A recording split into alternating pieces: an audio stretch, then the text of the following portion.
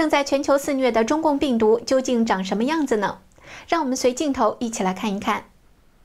这就是正在全球肆虐的中共病毒，也是目前全世界的头号公敌。艳丽的外表掩盖了狰狞的面貌。中共病毒直径大约为六十到二百二十纳米，外形呈皇冠形。五万个病毒排成一列，可以轻松地穿过缝衣针的针眼。病毒侵入人体后，在人体细胞浆内生存繁殖，引起以发高烧为主要临床表现的严重急性呼吸综合症 （SARS）。截止到四月六日。全球有一百二十七万人感染了中共病毒，死亡将近七万人。新唐人记者李博文综合报道。